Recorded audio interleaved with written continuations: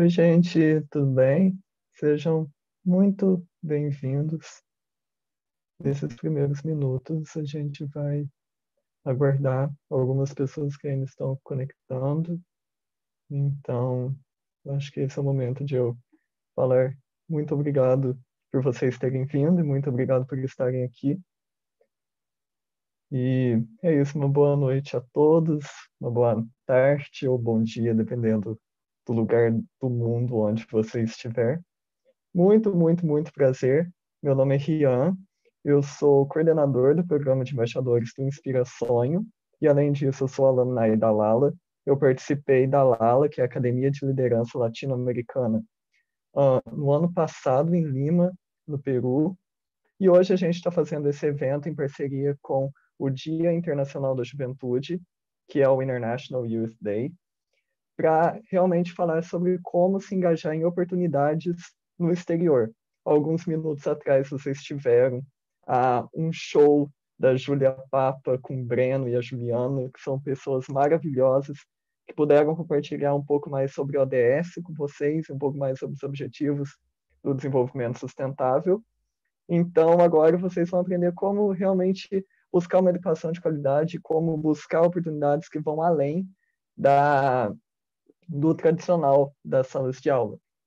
Ah, lembrando que se vocês tiverem interesse de ter um certificado para essa palestra que mostra a quantidade de horas que você participou desse evento, você pode mandar um e-mail para tainá@inspirasonho.com.br que você vai receber esse certificado.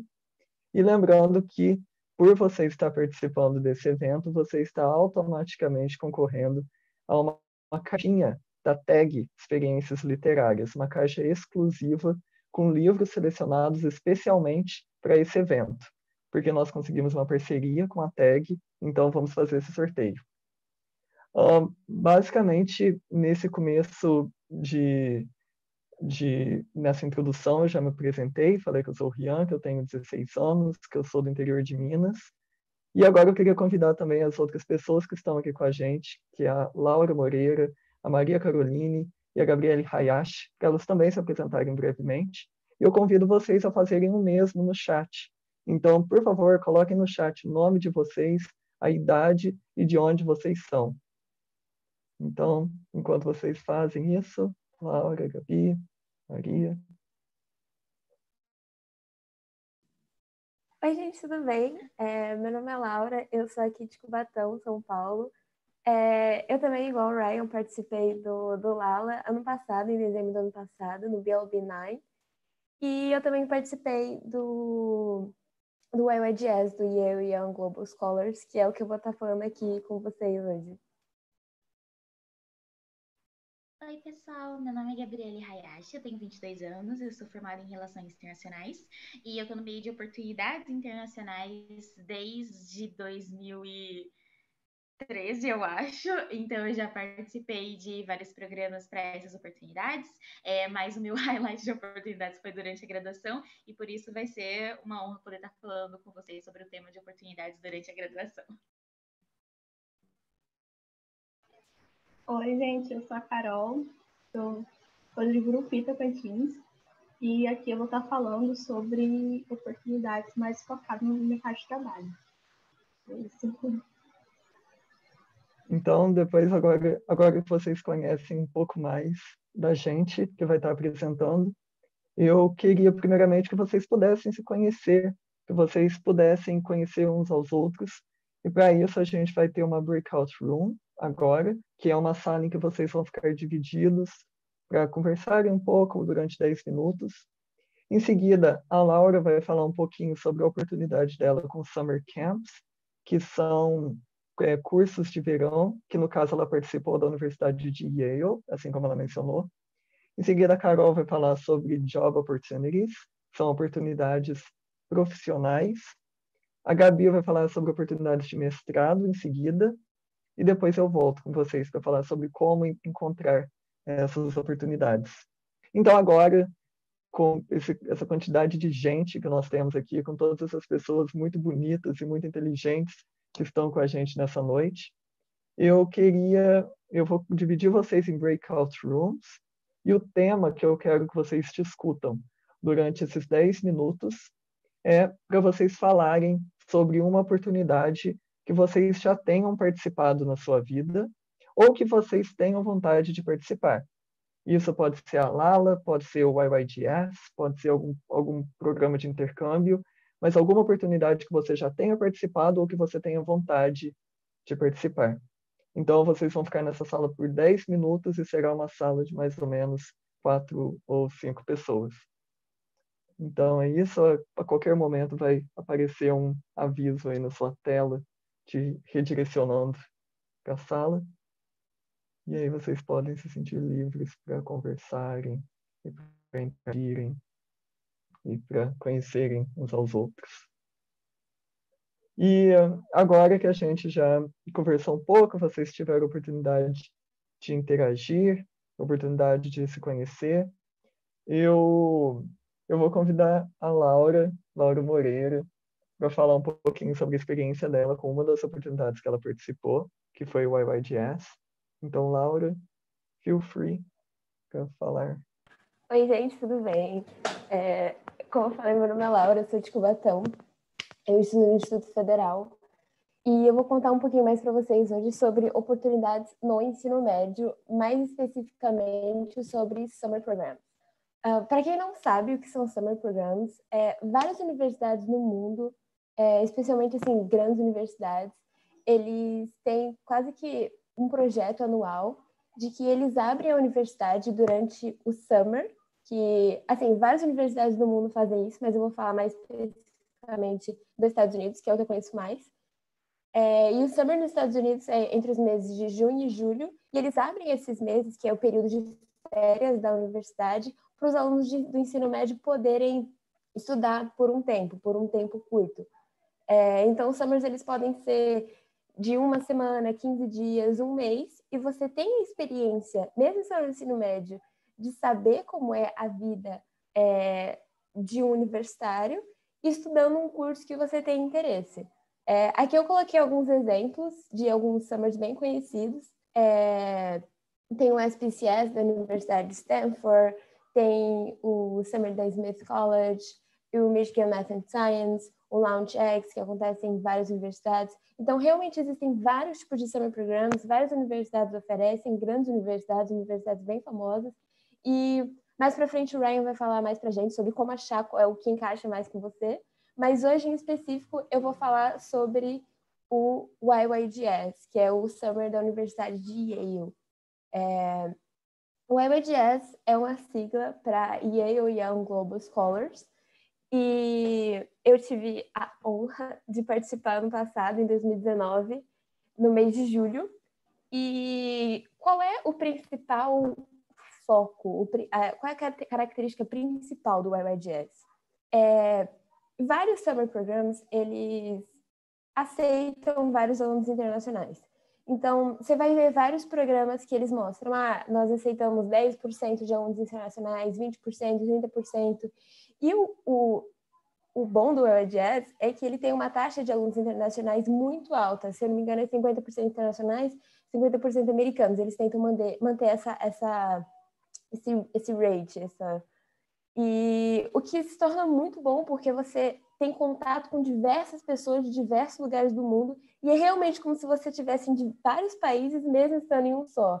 É, um exemplo disso é o meu o quarto que eu ficava, é, o meu quarto universitário, é, tinha eu de brasileira, eu tinha uma amiga é, indiana, outra chinesa, outra da Costa Rica, outra do México, outra do Canadá, tudo no mesmo quarto, sabe? E então você realmente, se você tem interesse em conhecer culturas novas, interagir com diferentes pessoas, é um programa incrível para isso.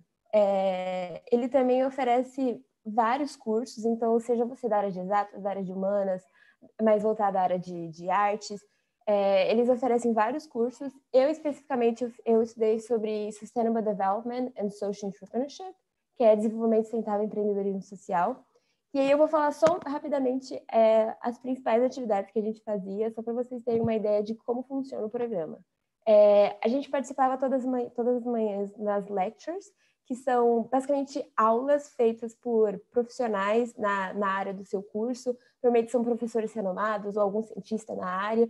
E, e aí, depois das lectures, a gente tem as breakout sessions, o que para mim é incrível, porque nas breakout sessions, além de entender melhor o que foi passado, você consegue entender melhor com diferentes pontos de vista.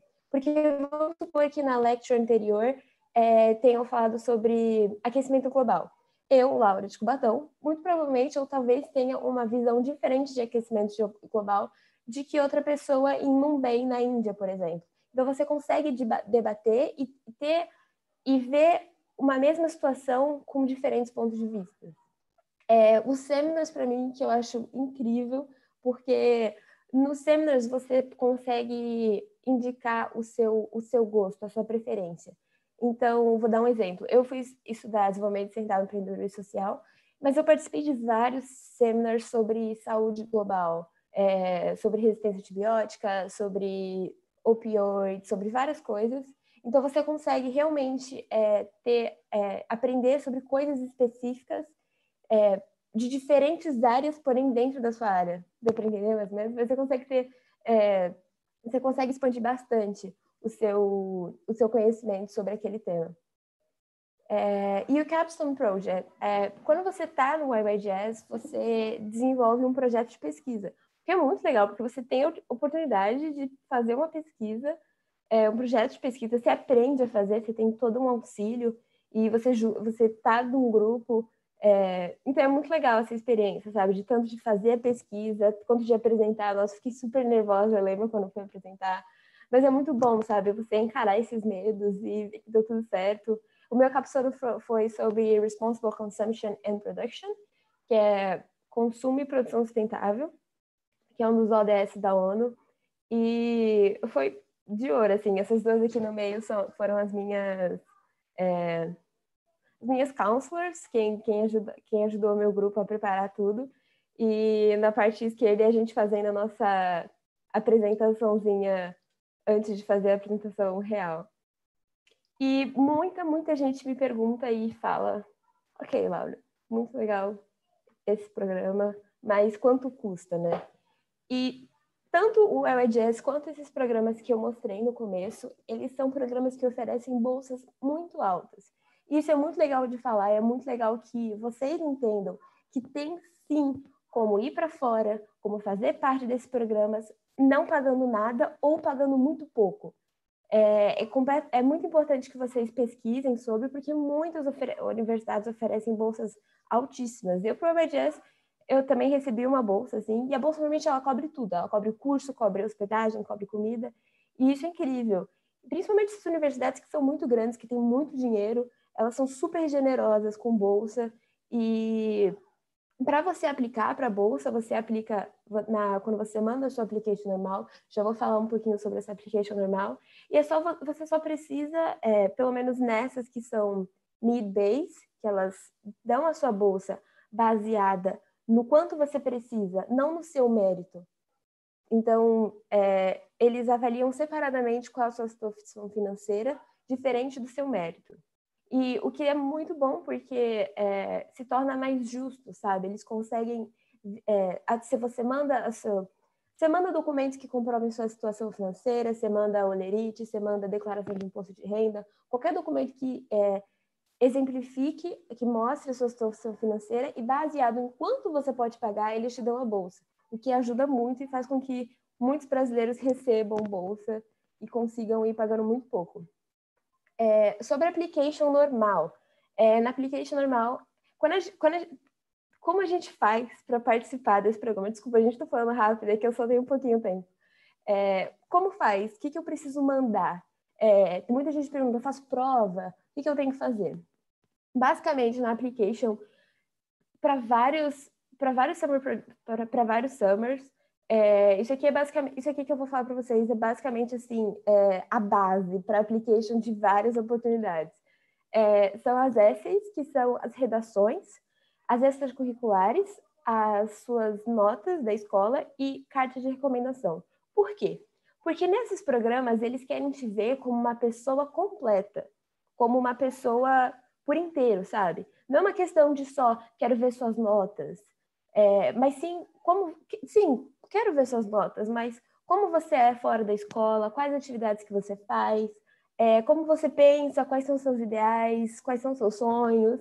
Então, eles querem saber realmente como uma pessoa, como uma pessoa por completo, sabe? O que as outras pessoas pensam de você, que aí você mostra com as cartas de recomendações. E, e eu poderia passar um tempão explicando para vocês sobre isso, mas o que eu realmente quero deixar aqui para vocês é que pode parecer intimidador, pode parecer muita coisa e pode parecer que você seja insuficiente. Mas, gente, eu sou a prova viva de que isso não é verdade. É... Muita gente pergunta, nossa, você deveria ter só 10 no seu boletim, né? Notas maravilhosas. E, senhoras e senhores, essa aqui, essa aqui é o meu boletim do meu primeiro ano no Instituto Federal.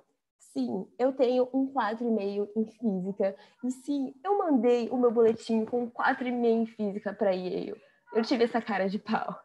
É, mas se vocês olharem aqui, eu tenho um 4,5 em física, mas ó, ele cresce. Eu vou de 4,5 para 6, para 7, para 10. Então, muitas vezes, quer dizer, eu não sou um admissions officer para falar disso com propriedade, mas eu realmente acredito que muitas vezes eles, além de olhar para se você só tem nota 10, eles olham para a sua evolução, sabe?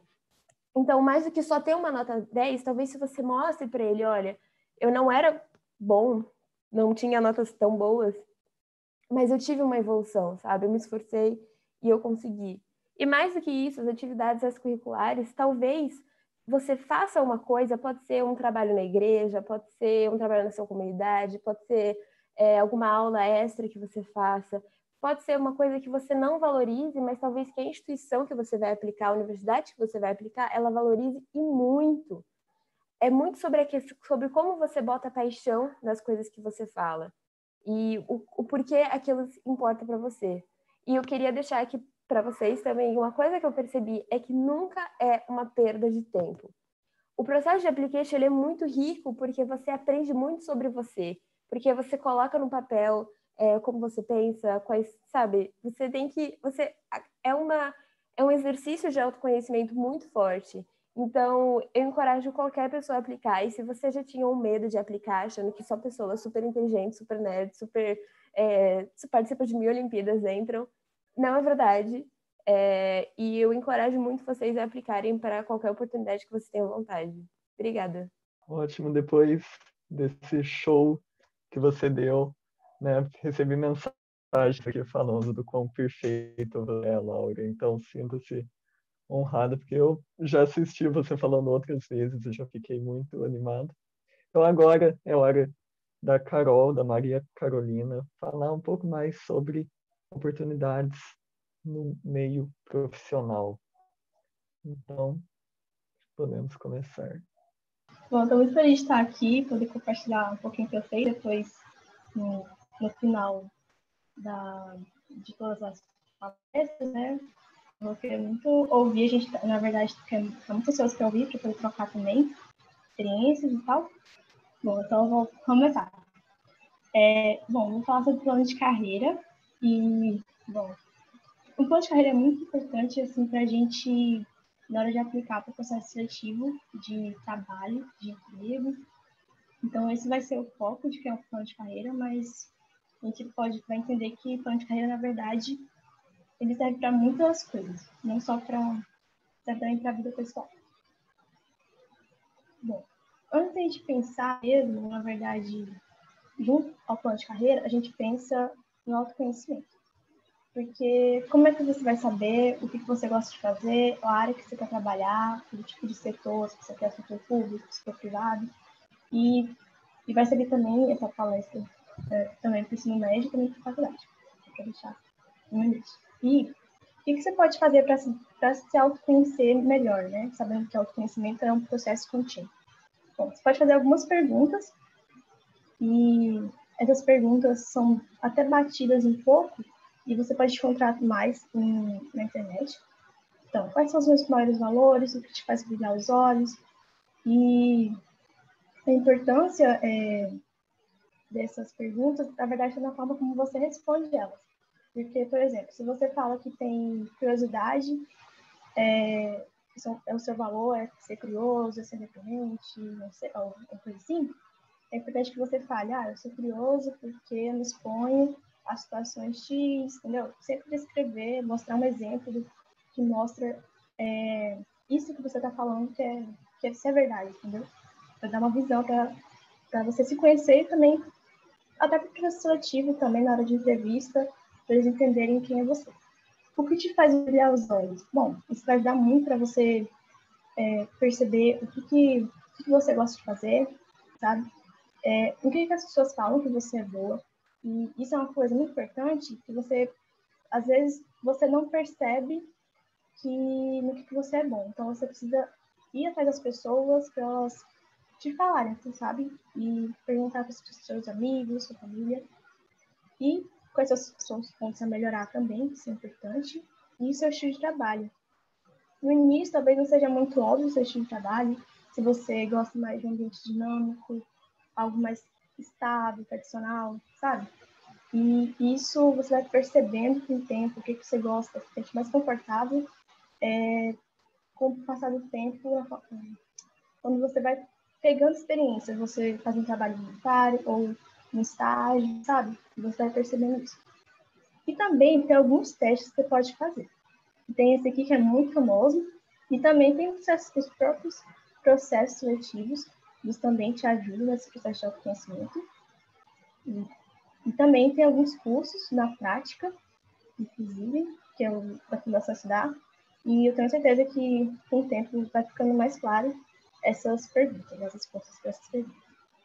Bom, a gente pensou no autoconhecimento, a gente vem para outra etapa, que é as definições das metas. Então, se você pensa, já sabe a profissão que você quer, e vamos supor assim, ah, eu quero trabalhar com educação.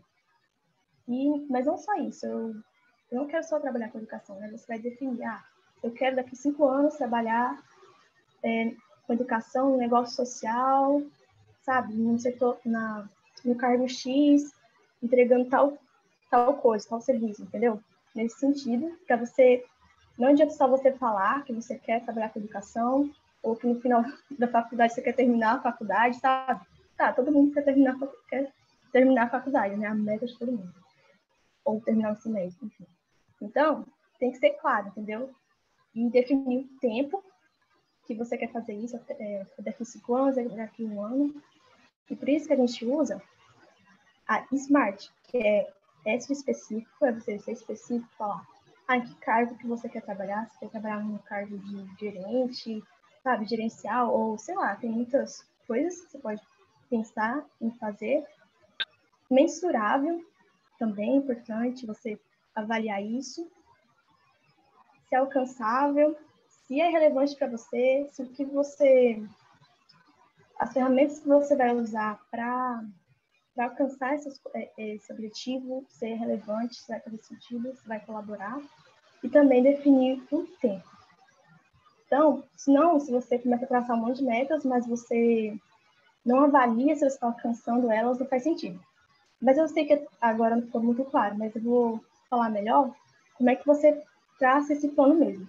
Então, pegando o exemplo da educação, se você quer trabalhar no negócio social, de impacto social, quer dizer, nessa área, no, na função X.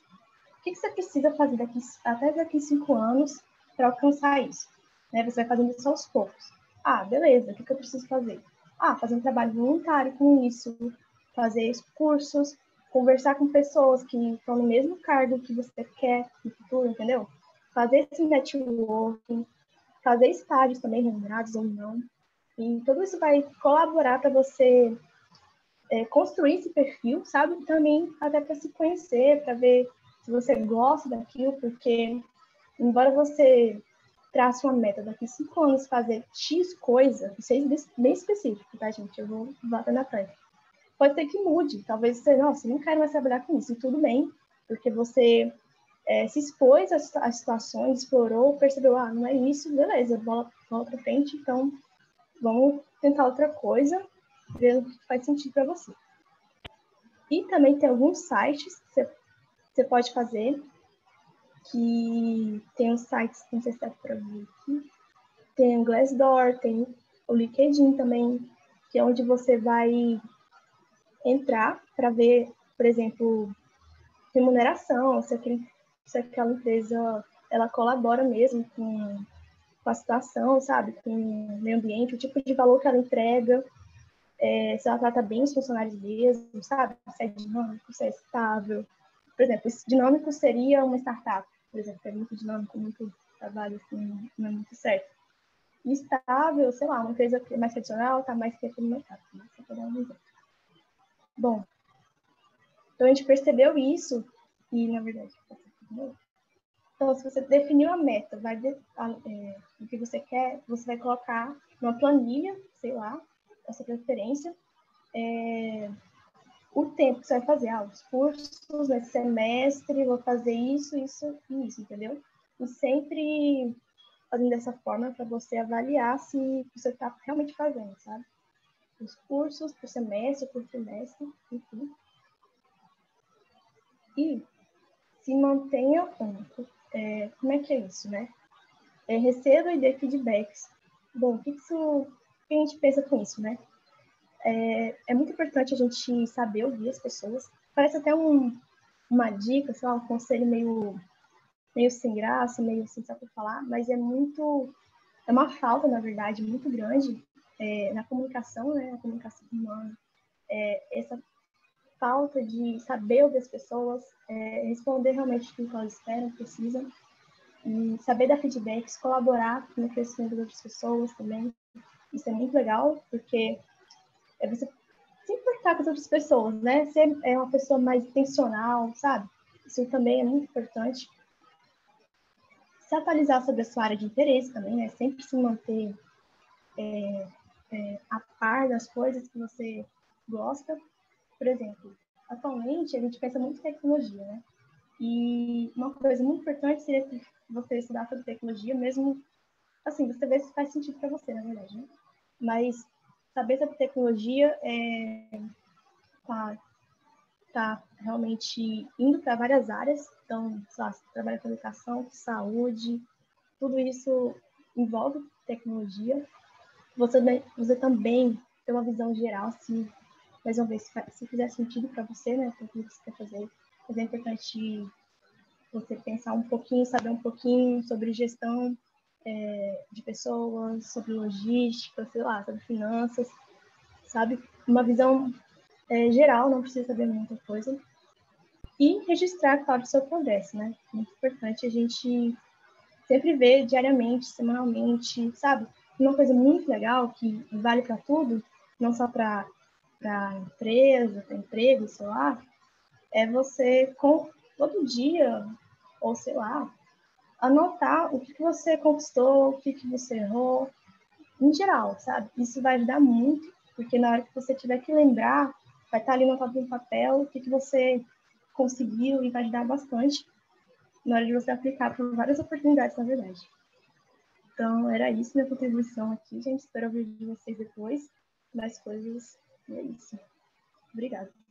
Depois, mais uma vez, dessa participação incrível, senhorita Gabriele Hayashi.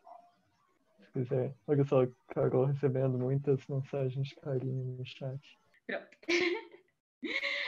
Oi, pessoal. É, meu nome é Gabi e, como eu me apresentei no começo, eu estou no meio de oportunidades internacionais há um tempinho. Mas hoje a gente vai estar tá focando em pessoas que estão na graduação ou já terminaram a graduação e têm interesse em um processo que é o de mestrado, ok? Se por acaso tiver algum problema de conexão durante a minha fala, por favor me avisem, liguem o microfone, que daí eu desligo a, meu compartilhamento e a gente volta ao normal. Então, essa fala vai ser uma fala rapidinha para pessoas que estão na graduação ou já terminaram a graduação e têm interesse em oportunidades internacionais, ok? Então, para se conseguir uma oportunidade internacional, é necessário se preparar muito. Esse preparo eu gosto de definir em três posicionamentos para deixar mais claro para vocês. Esses posicionamentos seriam as três preparações. Eu gosto de falar que são as preparações longo termo, médio termo e as preparações de período de aplicação. Beleza, quando a gente fala longo termo, Gabi, quão longo é esse termo que a gente está conversando aqui? Bom, esse termo, ele é longo no sentido de que é tudo aquilo que você vai fazer para se tornar apto para essa oportunidade, para cumprir os pré-requisitos. Então, é um período de dois a três anos. Você não precisa pensar que está cumprindo os requisitos para uma oportunidade no momento nós damos isso, mas entra depois quando a gente está aplicando em si. Então vamos supor, você que está aí no primeiro ano da sua faculdade, uh, você tem disponibilidade de realizar diversas atividades, certo? Até pessoas que estão no segundo, terceiro ano, que eu sei que o pessoal do último ano geralmente fica mais no TCC. Então, antes do seu último ano, você tem a possibilidade de se preparar a longo termo. O que é o preparatório longo termo, então? Seria tudo aquilo que você faz para cumprir um pré-requisito e para tornar a sua application competitiva, as extracurriculares, as famosas extracurriculares. Para quem não sabe, a extracurricular é tudo aquilo que a gente faz fora do seu currículo acadêmico. Então, fora das suas aulas, e fora das coisas que são obrigatórias para que você receba seu diploma. Essas são as extracurriculares. É só isso, Gabi. Não necessariamente. Dentro de uma extracurricular, você tem que agregar valor e trazer impacto. Ou seja, você nadar com as suas amigas no final de semana não é extracurricular. Você competir em time de natação e realmente representar o time, causar impacto e etc., isso é uma extracurricular. Eu acho que assim vocês conseguem entender nossas diferenças, né? Então, isso seria extracurricular. Elas são muito importantes para o seu processo de aplicação, porque elas é, mostram o seu perfil, mostram os seus interesses, mostram o impacto que você você pode gerar e o potencial que você pode, pode vir a ter.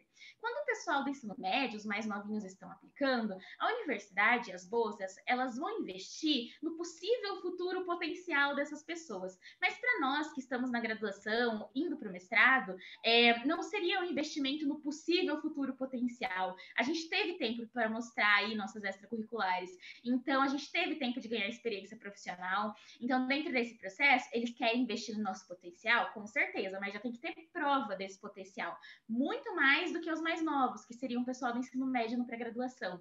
Então, por isso, os extracurriculares são relevantes. Eu gostaria de estar falando aqui com vocês, então, exemplos de extracurriculares e oportunidades para você se engajar quando você se encontra lá no seu primeiro, segundo, terceiro ano da faculdade. Centro acadêmico, Atlética, PET, grupo de estudo, grupo de debate, processo de graduação sanduíche, cursos de verão, cursos de inverno, summer jobs, também conhecidos como estágios sazonais, pesquisa no exterior, congressos, seminários, simulações da ONU, simulações é, do Mercosul. Uh, você consegue fazer também competições de grupos de debate, grupo de pesquisa, competição de mediação, competição de arbitragem. Tem várias coisas que você consegue estar tá fazendo.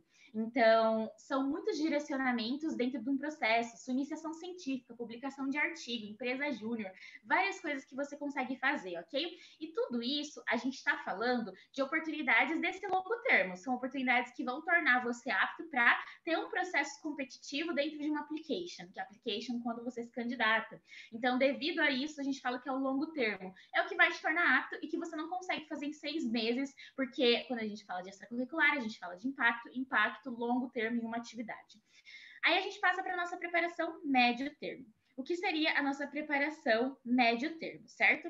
A nossa preparação médio termo seria quando você vai garantir que tudo que está agendado está é, o mais preparado possível. Então, vamos supor, como a gente tinha mencionado aqui, dentro do nosso processo longo termo, são dois, três anos antes de se aplicar, se tornando apto para você aplicar.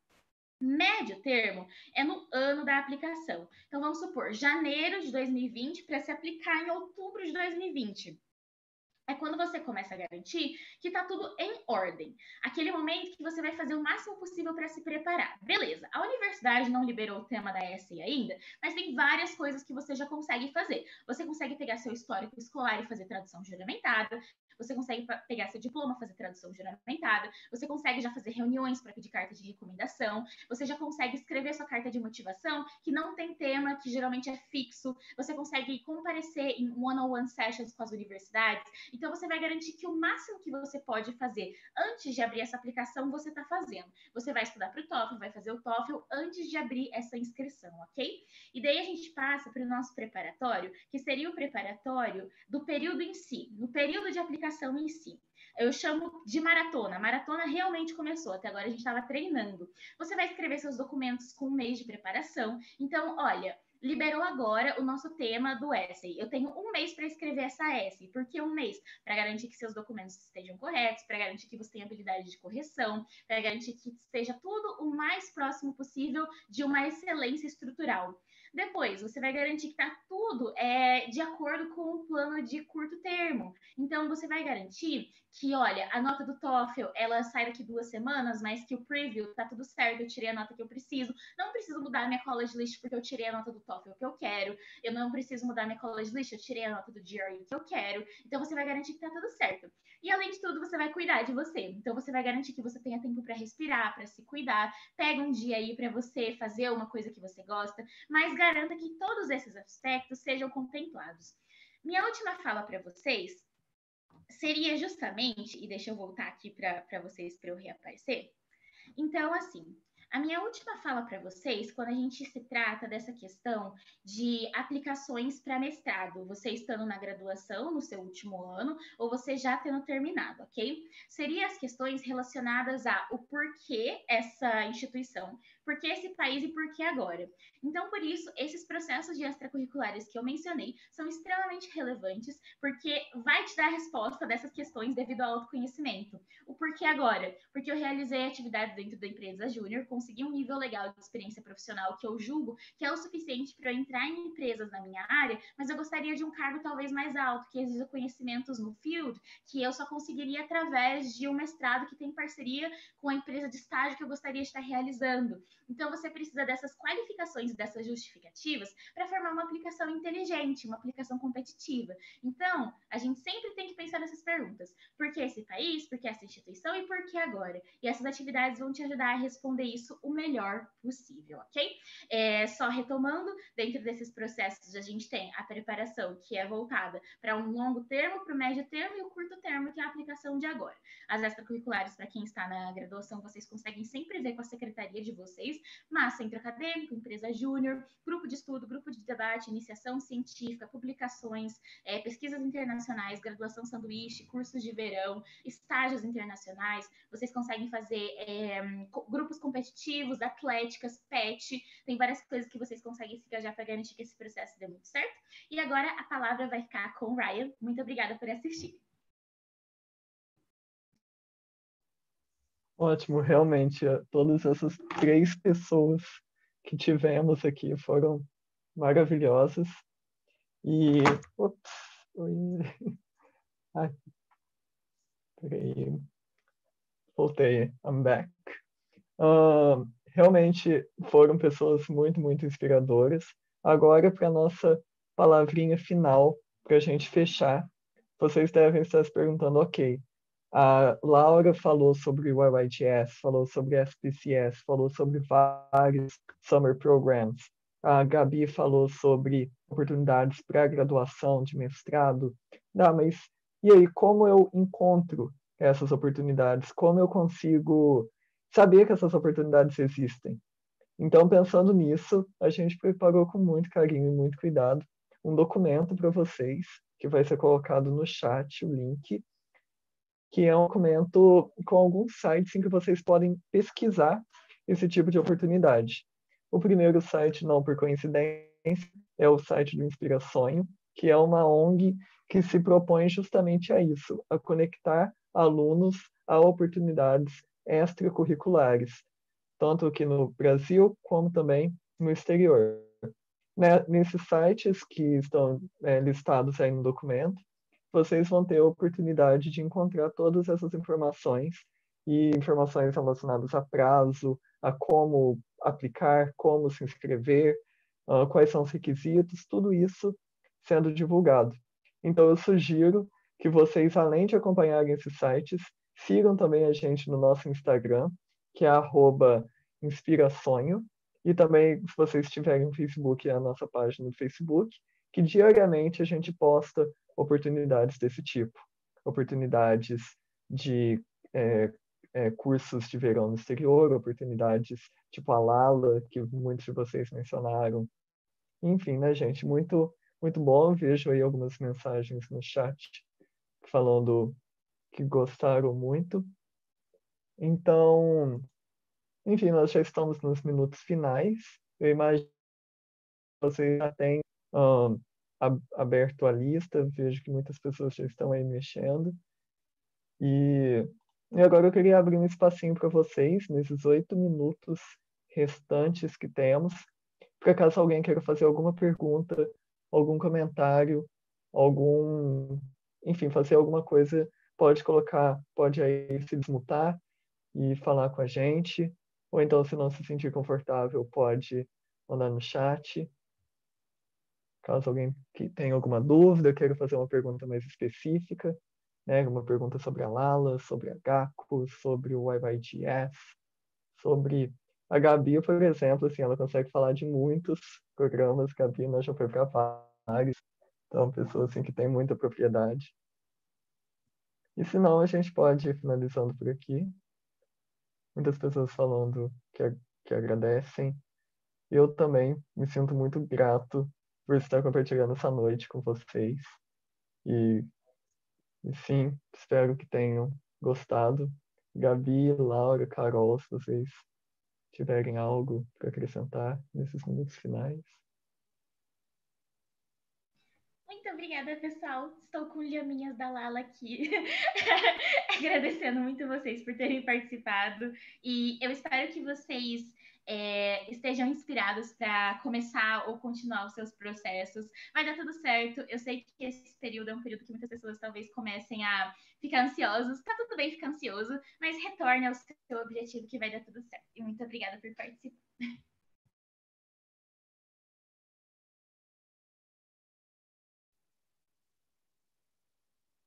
Mais alguém quiser adicionar? Laura? Muito obrigada, obrigada por estar aqui. Espero que realmente, igual a Gabi falou, que vocês se sintam um pouco mais inspirados.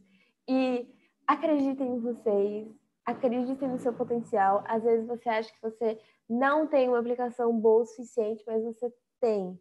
Então não se compare com os outros e realmente acredite em você, vai dar tudo certo. Eu espero ver vocês aí é, em todos esses todas as oportunidades que vocês querem.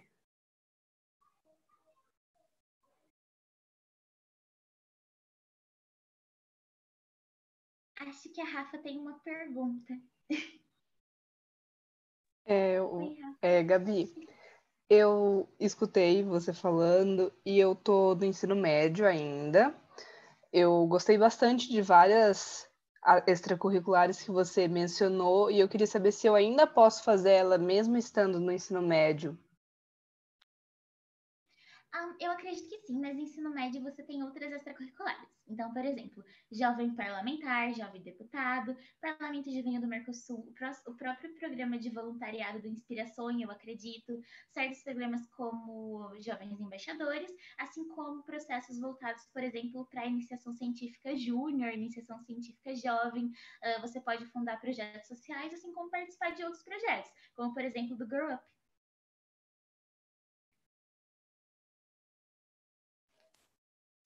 É, eu também queria adicionar que quando você está no ensino médio, é muito importante você ter a noção do qual é o seu proposition value, que é basicamente o porquê você é válido para a universidade ou para a oportunidade que você quer aplicar.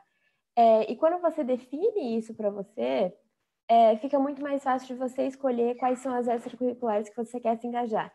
Então, vamos supor, vou dar um exemplo.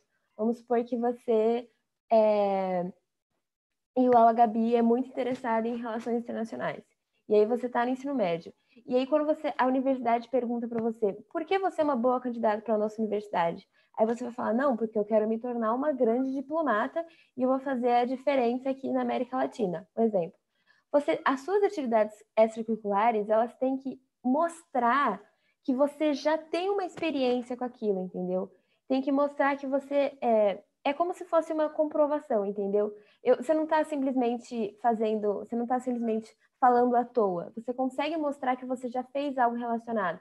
Vamos supor, se esse for o caso, você, é, você gosta de relações internacionais, quer se tornar uma grande diplomata.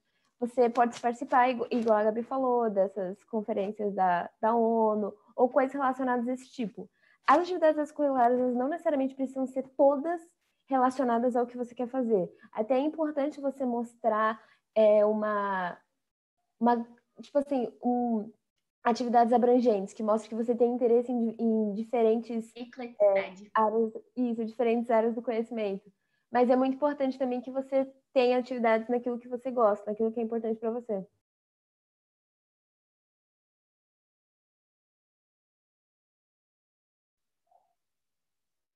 Ótimo. A gente tem mais alguns minutos restantes.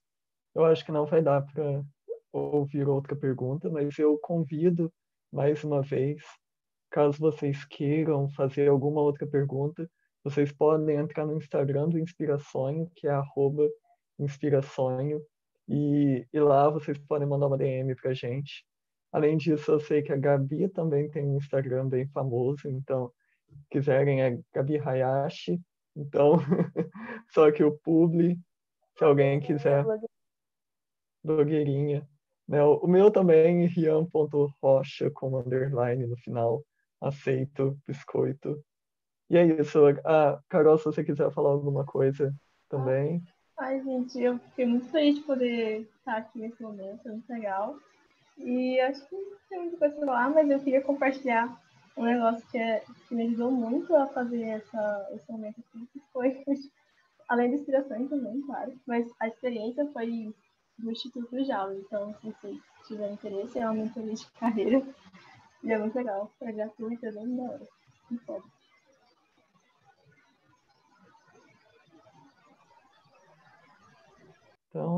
então é isso, gente. Vou colocar o Uma link. boa noite. Vou colocar o link do Jaula aqui só para. Isso. Então é isso, gente. Uma boa noite. Enquanto colocam o link, vou finalizando. Um abraço a todos, muita gratidão a todos vocês. Uma pessoa também que esqueci de mencionar é a nossa queridíssima, a pessoa que traz luz para a nossa vida, que é a Tainá Teodoro. Está sendo a host dessa sessão. Então, Tainá, muito obrigado. Né, Tainá, gente, se vocês quiserem depois, mandem um e-mail para tainá.inspirações.com.br, peçam o certificado mas também peçam a, a receita de lasanha de miojo, que é assim, perfeita, é a, a receita. E, e é isso, gente. Eu, eu, eu não. Tainá, se você quiser falar sobre certificados, mas certificados incluem todas as palestras que você participar. Então, então é isso, gente. Alguém quer falar? Ok, gente, muito obrigado, uma boa noite. Bebam água, cuidem-se, leiam livros, especialmente se forem da tag que estamos sorteando. E é isso, gente. See you.